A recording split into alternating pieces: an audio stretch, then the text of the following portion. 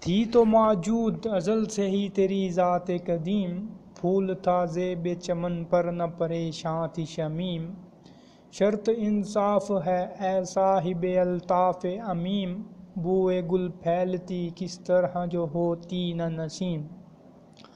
ہم کو جمعیت خاطر یہ پریشانی تھی، ورنہ امت تیرے محبوب کی دیوانی تھی۔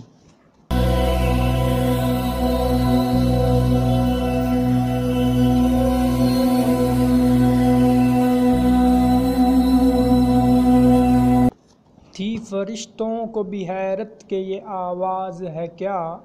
عرش والوں پہ بھی کھلتا نہیں، یہ راز ہے کیا؟ تاثر عرش بھی انسان کی تگ و تاز ہے کیا؟ آ گئی خاک کی چٹکی کو بھی پرواز ہے کیا؟ غافل آداب سے سکان زمیں کیسے ہیں؟ شوخ و گستاخ یہ پستی کے مکیں کیسے ہیں؟